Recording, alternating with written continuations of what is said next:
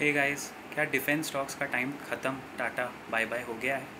Are defence stocks going to lose their sheen from here on I am telling you why because yesterday one of the coalition partners has raised an eyebrow multiple eyebrows on the Agniveer scheme क्या ये Agniveer scheme defence stocks को ले डूबेगा? कल के session में भी आपने देखा होगा, काफ़ी डिफेंस स्टॉक्स प्रेशर में थे जब आईटी सेक्टर निफ्टी को बचा ले गया।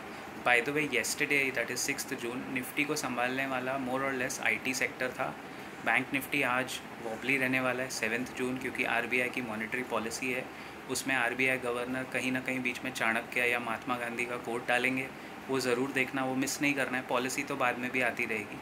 But defence stocks look over valued and they are heavily dependent on government policies that's why let me know in your comments कि क्या लगता है आपको डिफेंस स्टॉक्स का टाटा बाय बाय हो गया या नहीं?